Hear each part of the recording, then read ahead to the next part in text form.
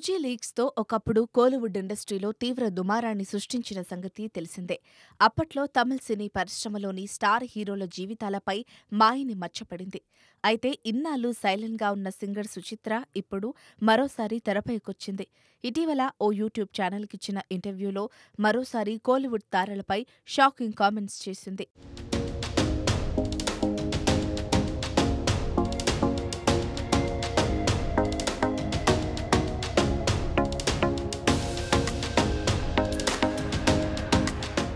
తన మాజీ భర్త కార్తిక్ గే అని ఆ విషయం తెలిసిన తర్వాత అతడించి విడాకులు తీసుకున్నారని తెలిపింది. అలాగే హీరో ధనుష్ గే అని మద్యం అధికంగా సేవించి హీరో ధనుష్ తన భర్త కార్తిక్ ఒకే గదిలో ఉండేవారంటూ వివాదాస్పద వ్యాఖ్యలు చేసింది. అలాగే అగ్ర కథానాయకుడు కమల్ హాసన్ ఇచ్చే పార్టీల్లో విరివిగా డ్రగ్స్ వినియోగం ఉంటుందంటూ సంచలన కామెంట్స్ చేసింది.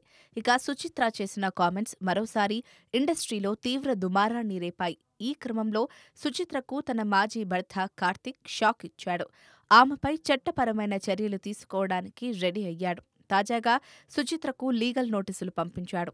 ఇటీవల ఓ ఇంటర్వ్యూలో తన పరువుకు భంగం వాటిల్లే విధంగా సుచిత్ర కామెంట్స్ చేసిందని అందుకు సంబంధించిన వీడియోస్ వెంటనే తొలగించాలని ఆపై అలాంటి వ్యాఖ్యలు మరోసారి చేయకుండా చూడాలని లీగల్ టీం ద్వారా డిమాండ్ చేశాడు కార్తిక్.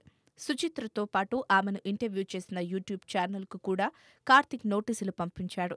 సదరు యూట్యూబ్ ఛానల్స్ విడుదల చేసిన వీడియోస్ పూర్తిగా తమ పరువుకు నష్టం కలిగించేవిగా ఉన్నాయని వెంటనే ఆ ఛానళ్ళను రద్దు చేయాలని నోటీసులలో పేర్కొన్నాడు.